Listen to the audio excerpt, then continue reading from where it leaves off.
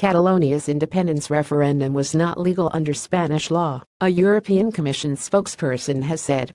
The representative went on to say that this is an internal matter for Spain that has to be dealt with in line with the constitutional order of Spain related nearly 850 injured in Catalonia independence referendum after Spanish riot police shut down polling stations and beat protesters, leaving almost 900 people injured. The EU's executive branch said the situation long brewing between Spain and Catalonia is an internal matter, one that the European Commission would not intervene, according to the Independent.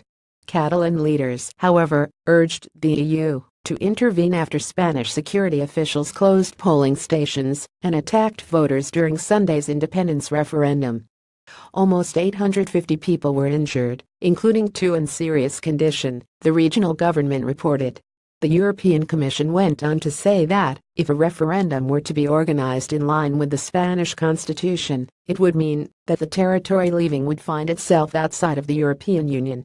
Beyond the purely legal aspects of this matter, the Commission believes that these are times for unity and stability, not divisiveness and fragmentation.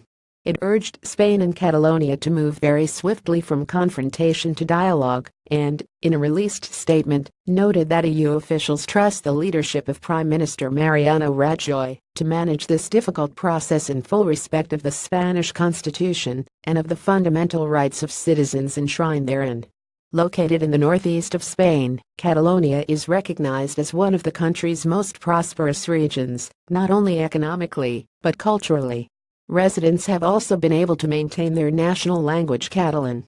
Apart from these aspects, which have historically fed into the independence movement, residents of Barcelona say they pay exorbitant taxes to Madrid and don't receive their worth back in services.